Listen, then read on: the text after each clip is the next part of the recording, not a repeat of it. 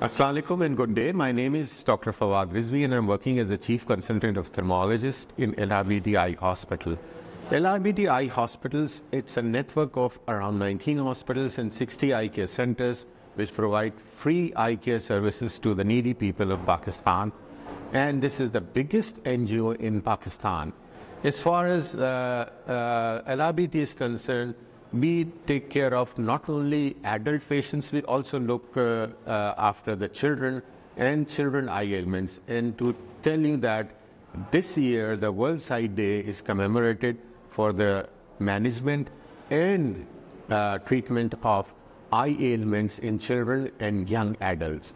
So as far as the children is concerned, LRBT almost treats one third of the eye ailments in children and young adults of whole of Pakistan.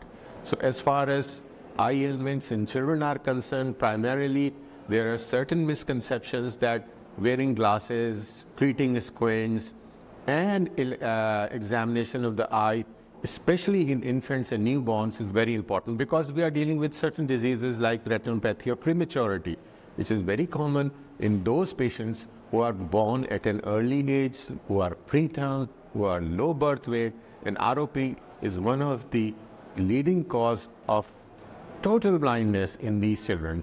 So early evaluation, early screening of these patients who require treatment of ROP will help prevent total blindness in these children. Similarly, treatment of squint, there's a misconception that squint does not need to be treated early. No, it's the other way. The students or the children who require a squint treatment should be treated as early as possible. Similarly, around 30 to 40% of the children who have got some kind of eye problem, it's because of refractive errors. So wearing glasses at an early age is very important, especially in children. So at this World Sight Day, where the theme is that treating children and young adults, I will prefer the parents and their caretakers please have your children's eye checked as early as possible. Apart from the awareness, also I would like to request to the philanthropists and all the uh, organizations who can help in this cause in treating, helping LRBT in managing treatment of these children. Thank you.